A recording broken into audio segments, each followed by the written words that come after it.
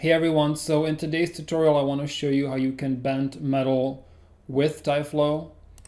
So first I just have this box animated to go down and then up again. So that's going to be our collider object and then I just have this metal barrier. So before you do anything else just right click on your object and you can use any object that you would like for this as always. Just click clone and I'll rename this just barrier 02 and say, okay, we're gonna need this later. So I'll just select barrier 02, hide selection, and I only have barrier 01, and this is what we're gonna work with.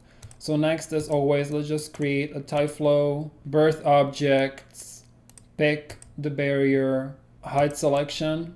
So next, we actually need to fracture this. So I'm just gonna add a Voronoi fracture operator. So just hit tab, type Voronoi fracture, and I'll give it 300 fragments Next, we need to scale these down. So I'll just do scale operator. For now, we're gonna set this to 60%. So the idea behind this is that we need gaps between the fragments so that as the metal is sort of pushed down, um, there's room for the metal to, to bend. If there are no gaps, then all of the pieces will just collide with each other and the bending will not properly work. So then we need to turn this into a PhysX shape. So now of course it'll just fall down but like a bunch of pieces but we need to bind them together. So I'll just do a PhysX bind operator. Let's set the type to rigid joint. And now we basically need to increase the strength of the binds by a lot so that the binds between these fragments are strong enough to keep them together even under the pressure of this box, sort of squishing it down and retain its shape like this.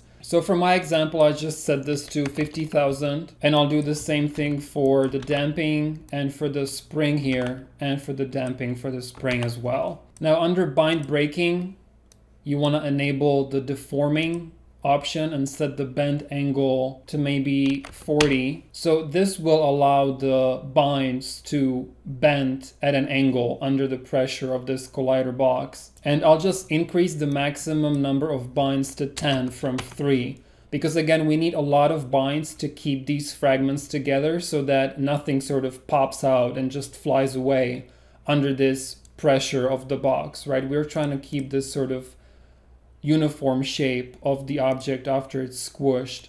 So next we just need to add the collision with this box. So I'll just do PhysX collision, pick this box here. And if I move forward, it should be working pretty well at this point.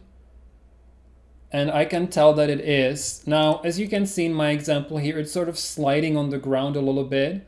Now we can reduce that by increasing the static friction. So if I go back under PhysX shape, dynamics, increase the static friction all the way to 1. So this is the amount of energy that is lost when a particle hits the ground. Dynamic friction, on the other hand, is the amount of energy that is lost when a particle hits another particle. So I'll just leave dynamic at 0.5 and increase static to 1.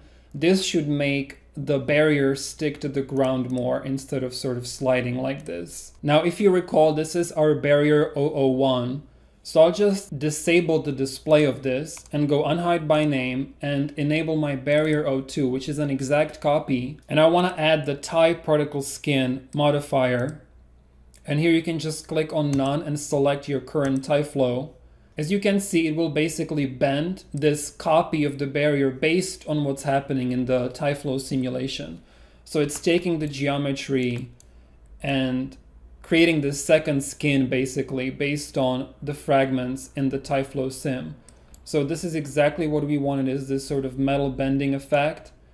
And as you can see, it's sticking to the ground much more. This bottom leg is not sliding anymore due to the increased static friction.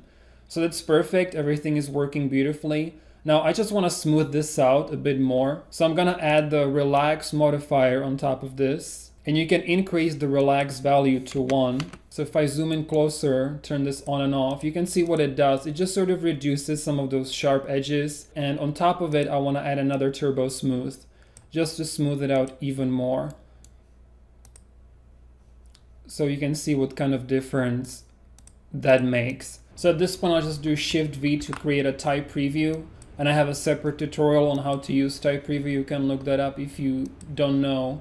I'll just hit create preview. So here's the final preview of the metal bending effect. Super cool. pretty easy to set up. Now definitely play around and replace this with other objects. So I made a few more examples. So I worked on another example of a bullet being destroyed basically. So if you guys are a fan of the movie Wanted, you can recreate that effect where the bullets hit each other midair and the metal deforms or they hit a wall at high speed. So that's pretty fun to explore. I did another example where I just have this beverage can being squished down. So that's just an idea for you for what you can do. So I hope that you guys found this helpful. If you did, as always, I would appreciate a thumbs up. Be sure to subscribe.